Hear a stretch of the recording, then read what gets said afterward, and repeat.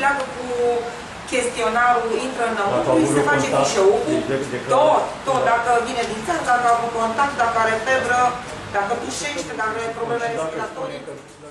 Prefectul Cristinel Pavel a inspectat astăzi spațiile în care sunt cazate persoanele aflate în carantină din județul Mehedinți. Toate spațiile în care sunt aduși oamenii în carantină sunt avizate de către Direcția de Sănătate Publică Mehedinți conform procedurilor.